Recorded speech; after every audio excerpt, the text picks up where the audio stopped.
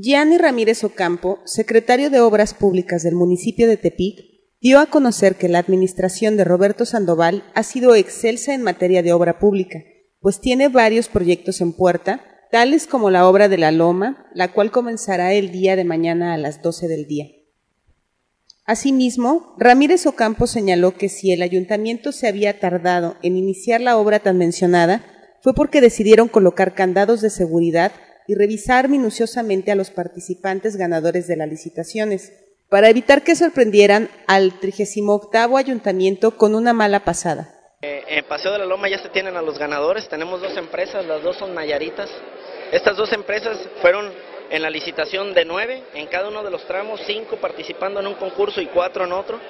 Quiero comentarles que estas de las nueve en total ya fueron contratadas dos y las dos son locales Nayaritas. Una de ellas eh, las dos de ellas se les tuvieron que revisar a todas que cumplieran con la capacidad técnica y financiera de la empresa constructora. Que la fortaleza que ha alcanzado el municipio de Tepic es gracias a la inversión y cumplimiento de las obras impulsadas por el alcalde Roberto Sandoval Castañeda,